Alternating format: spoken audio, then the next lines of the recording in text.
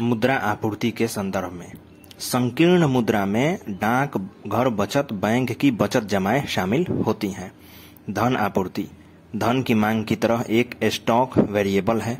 किसी विशेष नियत समय पर जनता के बीच परिसंचरित धन की कुल मात्रा को धन आपूर्ति कहा जाता है। आरबीआई धन आपूर्ति के चार वैकल्पिक उपायों के आंकड़े प्रकाशित करता है। M1, M2, M3 और M4 M1 में C U plus D D आता है। एम टू में एम वन प्लस डाकघर बचत बैंकों में बचत जमा। एम थ्री में एम वन प्लस वाणिज्यिक बैंकों की शुद्ध सावधि जमाएँ। एम फोर में एम थ्री प्लस डाकघर बचत संगठनों की कुल जमा। राष्ट्रीय बचत प्रमाण पत्र को छोड़कर। सी यू का अर्थ होता है जनता द्वारा धारित मुद्रा, यानी नोट्स और सिक्के। डीडी होता है, वाणिज्यिक बैंकों द्वारा धारित शुद्ध मांग जमा। M1 और M2 को संकुचित धन के रूप में जाना जाता है। M3 और M4 को व्यापक धन के रूप में जाना जाता है। यह श्रेणी व्यवस्था तरलता के घटते क्रम में होती है। यानी M1 सबसे अधिक तरल और आसान है, जबकि M4 सबसे कम तरल है। M3 धन आपूर्ति का सर्वाधिक प्रयुक्त माध्यम है, और इसे समग्र मौद्रिक संसाधनों के रूप में भी जाना जाता है। भारत प्रतिभूति मुद्रण तथा मुद्रा निर्माण निगम लिमिटेड के बारे में। यह आर्थिक मामलों के विभाग के अंतर्गत एक सार्वजनिक क्षेत्र का उपकरण है। भारत प्रतिभूति मुद्रण निर्माण निगम लिमिटेड आर्थिक कार्य विभाग के तहत आने वाला एकमात्र लोक उद्यम है। इसे वित्त मंत्रालय के तहत पहले काम कर रही नौ इकाई के निगमीकरण के बाद गठित किया गया था। इस कंपनी को 2006 में कंपनी अधिनियम उन्नीस सौ छप्पन के तहत निगमित किया गया था। यह सुरक्षा पत्र सिक्का की टकसाली मुद्रा और बैंक नोटों की छपाई गैर न्यायिक स्टाम्प पेपर डाक टिकट यात्रा दस्तावेज़ आदि का निर्माण का कार्य करती है। और कंपनी जो है वो आपूर्ति करती है। कम, ये कंपनी जो है वो आपूर्ति करती है आरबीआई को मुद्रा या बैंक नोट और सिक्का की फिर विभिन्न राज्य सरकार को गैर न्यायिक स्टाम्प पत्रों की, फिर पोस्टल स्टेशनरी और डाक विभाग की टिकटों की, फिर विदेश मंत्रालय को पासपोर्ट वीज़ा स्टिकर और अन्य यात्रा दस्तावेजों की, फिर अन्य उत्पादों में स्मारक सिक्के एमआईसीआर और गैर एमआईसीआर चेक आदि की भी करती है। इस्लामिक बैंकिंग के बारे में। इस्लामिक बैंकिंग के अंतर्गत ऋणों और जमाओं पर कोई ब्याज नहीं लगता है। जमाकर्ता जिस बैंक में अपनी जमाएँ रखता है, उसको होने वाले नुकसान या लाभ में वह सहभागी होता है। इस्लामी बैंकिंग, इस्लामी सिद्धांत के अनुसार लागू की गई बैंकिंग व्यवस्था है। इस्लामी कानून में ऋण और जमा दोनों पर ब्याज की मनाही है। इसके लिए यह तर्क दिया गया है कि पैसा कोई वस्तु नहीं है और लाभ वस्तुओं और सेवाओं पर अर्जित किया जाना चाहिए। पैसे के नियंत्रण पर नहीं। परंतु पूंजी को उत्पादन का एक कारक माना जाता है। जिसे पुरस्कृत होना चाहिए। हालाँकि, बैंक, इस्लामी बैंकिंग पूंजी के मालिकों को मुनाफे में एक हिस्से पाने की अनुमति देती है कि जो निश्चित है, ये निश्चित है। यह ऋणदाता और ऋणधारी द्वारा लाभ और घाटा दोनों के बंटवारे के सिद्धांत पर आधारित है। जमाकर्ता को ब्याज के रूप में एक निश्चित वापसी का भुगतान नहीं किया जा सकता, लेकिन बैंकों को जमा पर नगद या वस्तु के रूप में पुरस्कार या बोनस जैसी प्रोत्साहन देने की अनुमति है। जमाकर्ता जो नियमित बैंकिंग प्रणाली में जोखिम विरोधी होता है, वह यहाँ पूंजी का एक पूंजी प्रदाता है और जो बैंक उसकी पूंजी उधार लेता है, उसके साथ वह अपने जोखिम को भी बांटता है। भारत सरकार ने, भारत में इस्लामिक बैंकिंग को अभी तक अनुमति नहीं दी है। जबकि इस्लामी कानूनों के अनुकूल उत्पादों को भारत की गैर बैंकिंग वित्तीय कंपनियों में सहकारी समितियाँ और चिट फंड हो सकते हैं। ये केंद्रीय बैंक द्वारा विनियमित नहीं है। बैंक दर में वृद्धि का परिणाम क्या है? तो वाणिज्यिक बैंकों की ऋण लागत में वृद्धि। बैंक दर में वृद्धि का परिणाम है वाणिज्यिक बैंकों की ऋण लागत में वृद्धि। बैंक दर ऐसी ब्याज दर है जिस पर भारतीय रिज़र्व बैंक दीर्घावधिक ऋण देता है। आरबीआई द्वारा बैंक दर में वृद्धि का अर्थ यह है कि बैंकों, वित्तीय संस्थाओं आदि के लिए अपने निधियन हेतु उधार लेने की कीमत में वृद्धि। इसके कारण निवेश निम्न हो जाता है। गैर बैंकिंग वित्तीय कंपनियों के बारे में। तो गैर बैंकिंग यानी गैर बैंकिंग वित्तीय कंपनी एनबीएफसी इसको कहा जाता है। ये मांग जमा स्वीकार नहीं कर सकती हैं। भारतीय रिज़र्व बैंक इनमें जमा राशि की वापसी की गारंटी नहीं देता है। गैर बैंकिंग वित्तीय कंपनी यानी एनबीएफसी कंपनी अधिनियम उन्नीस सौ छप्पन के तहत पंजीकृत कंपनी होती है, जो ऋण और अग्रिम शेयर, स्टॉक, बॉन्ड डिवेंचर सरकार अथवा स्थानीय प्राधिकरण या समान प्रकृति को, की अन्य मार्केट योग्य प्रतिभूतियों का अधिग्रहण, पट्टा कारोबार, किराया खरीद, बीमा व्यापार, चिट व्यापार के कारोबार में लगी हो। गैर बैंकिंग वित्तीय कंपनी में ऐसी कोई संस्था शामिल नहीं है जिसका मुख्य कारोबार कृषि, औद्योगिक, व्यापार संबंधी गतिविधियाँ हैं अथवा अचल संपत्ति का विक्रय, क्रय या निर्माण करना शामिल है। गैर बैंकिंग वित्तीय कंपनी यानी एनबीएफसी ऋण देती है तथा निवेश करती है और इसके लिए उनकी गतिविधियाँ बैंकों की तरह होती हैं, लेकिन इसमें कुछ अंतर भी है। जैसे एनबीएफसी मांग जमा को स्वीकार नहीं कर सकती। एनबीएफसी भुगतान और निपटान प्रणाली का हिस्सा नहीं होती और स्वयं के नाम आहरित चेक जारी नहीं कर सकती।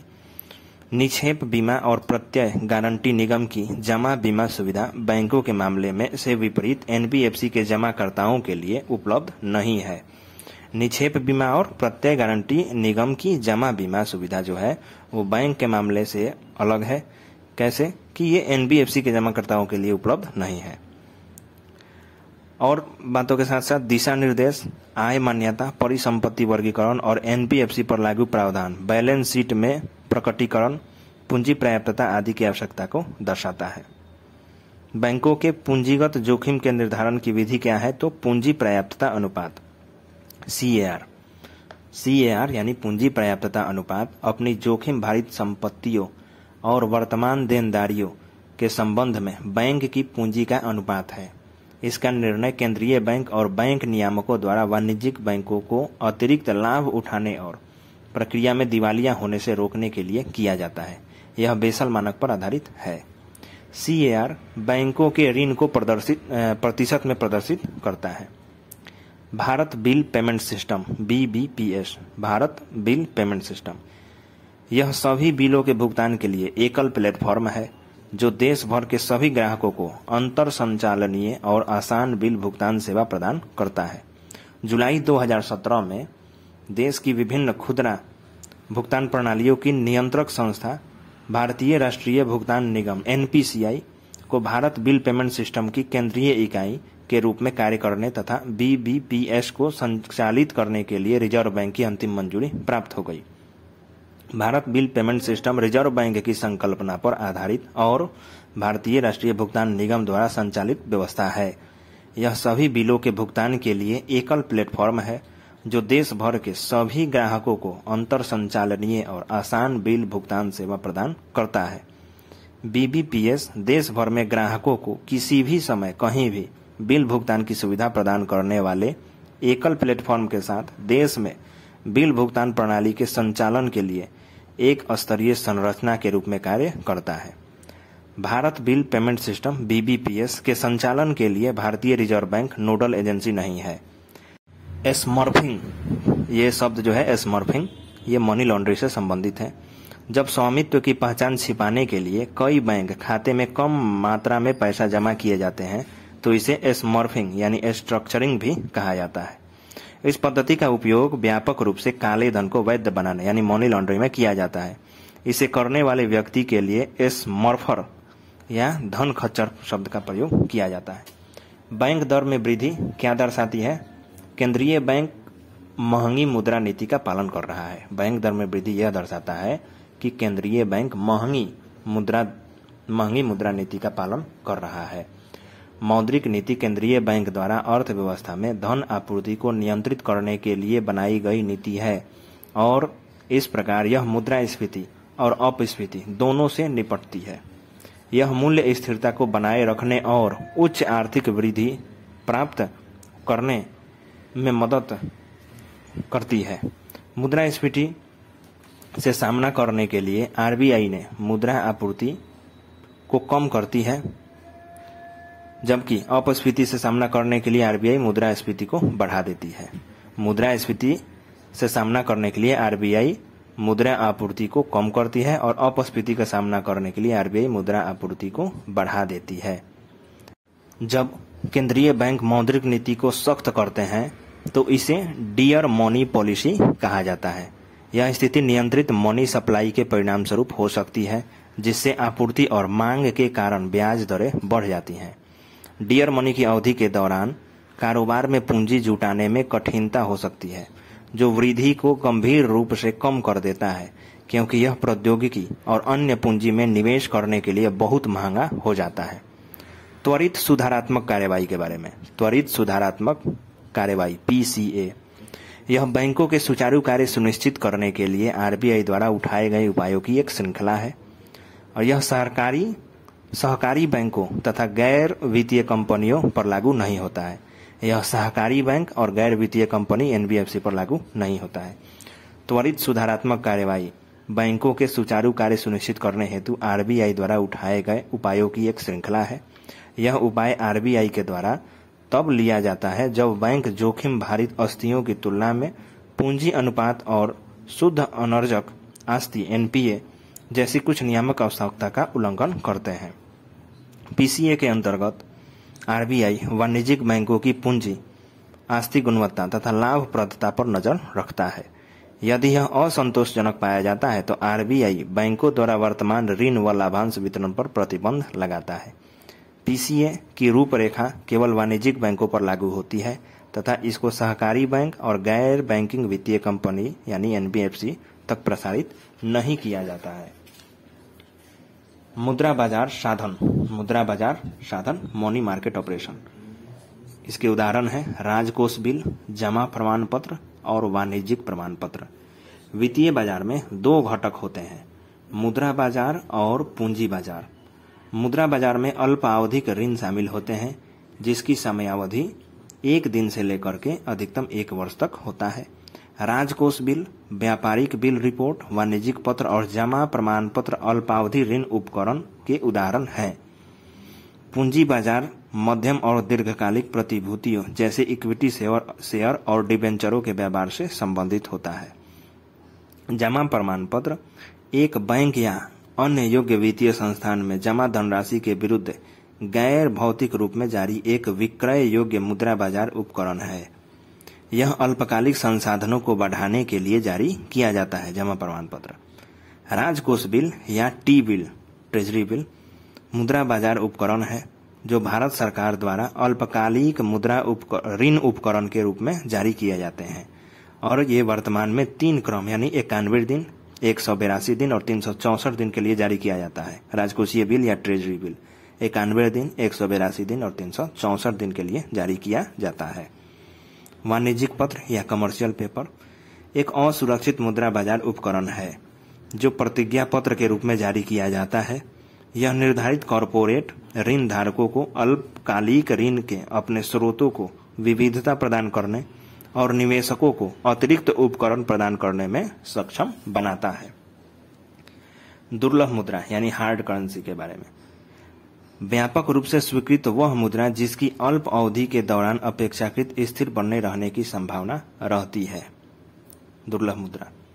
दुर्लभ मुद्रा विश्व में व्यापक रूप से वस्तुओं और सेवाओं के भुगतान के लिए एक स्वीकार्य मुद्रा और एक ऐसी मुद्रा जिसकी अल्पावधि में अपेक्षाकृत स्थिर रहने की संभावना हो के रूप में परिभाषित की जा सकती है। मुद्रा को दुर्लभ मुद्रा के रूप में श्रेणीबद्ध होने के लिए विदेशी मुद्रा बाज़ार में भी इसकी अत्यधिक तरलता होना आवश्यक है। अमेरिकी डॉलर दुर्लभ मुद्रा के सर्वोत्तम उदाहरण में से एक है, अमेरिकी डॉलर। राजनीतिक रूप से स्थिर सरकार और उच्च सकल घरेलू उत्पाद वाले देश द्वारा जारी किया जाना दुर्लभ मुद्रा के अन्य गुणों में से एक है। दुर्लभ मुद्राओं के कुछ अन्य उदाहरण है, यूरोपीय यूरो, जापानी येन और ब्रिटिश पाउंड।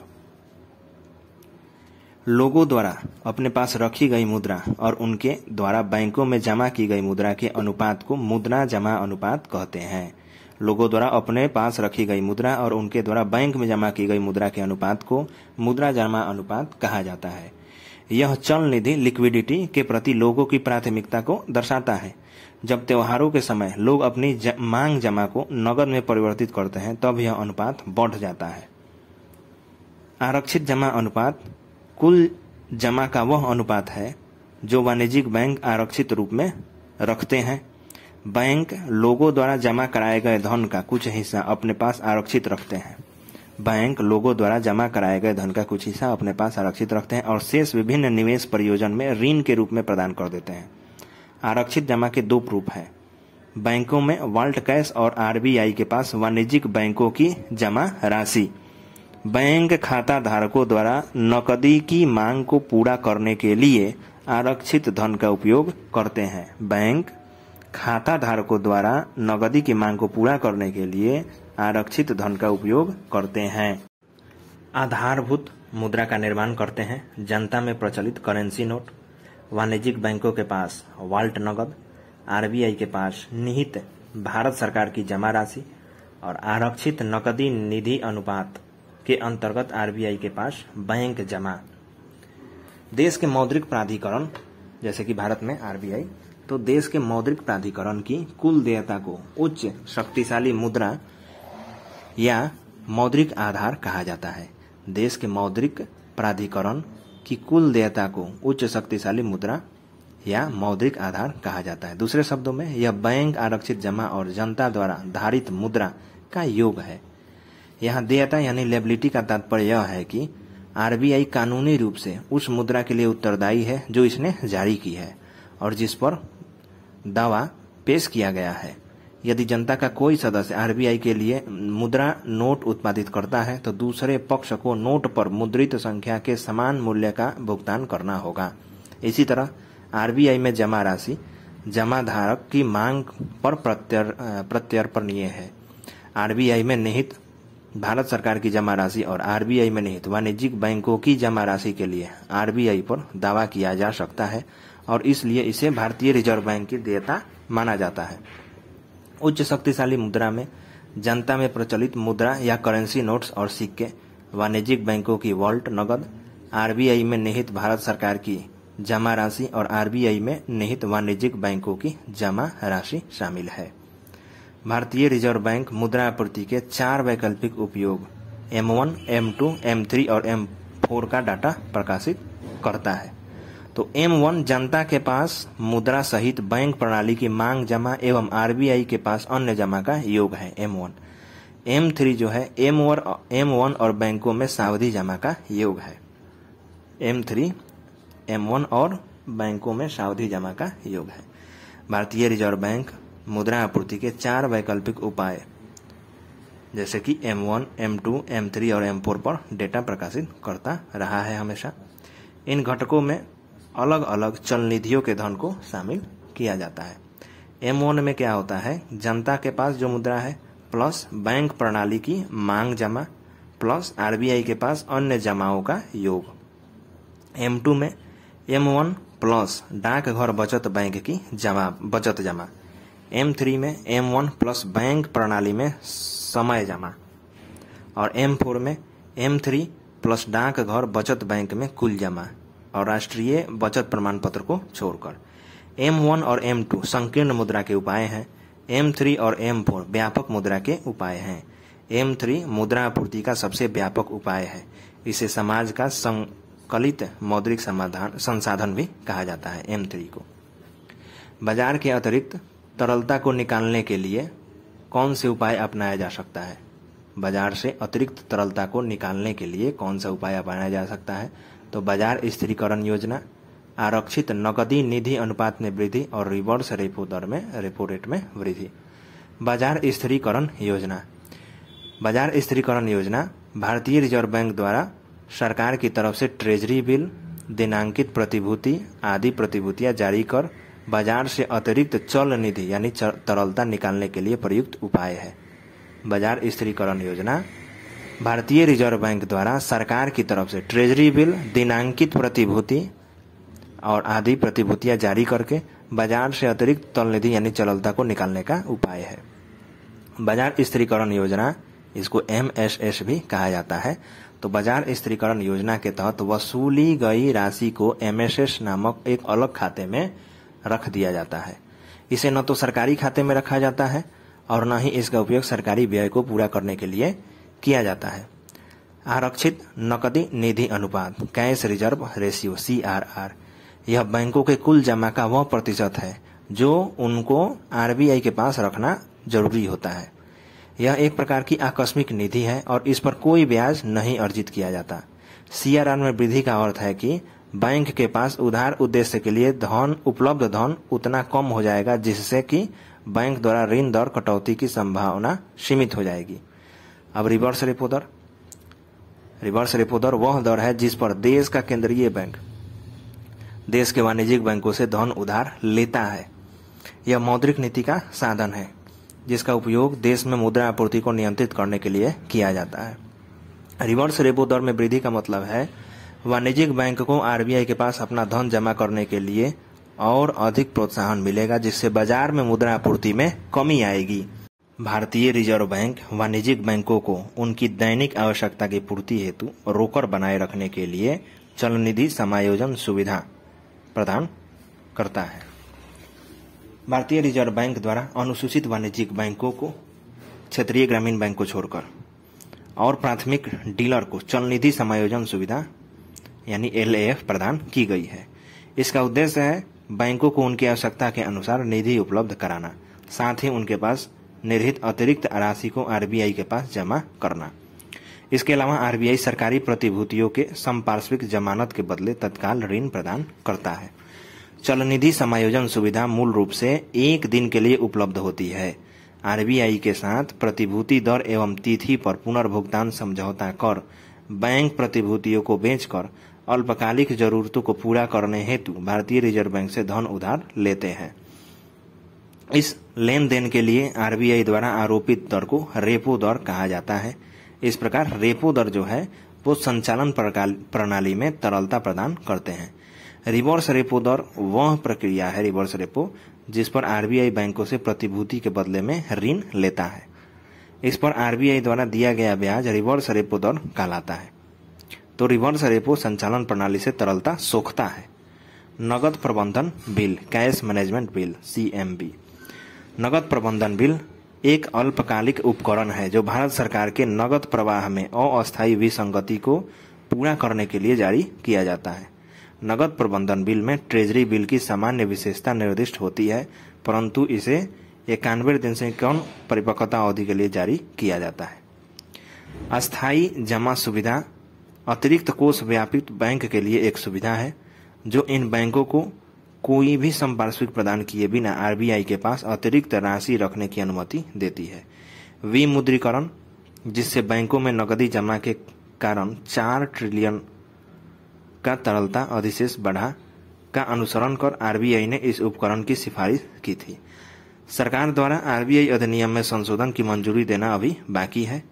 इसलिए वर्तमान में एसडीएफ कार्यात्मक नहीं है और बैंकों की तरलता का प्रबंधन करने के लिए इसका लाभ नहीं उठाया जा सकता।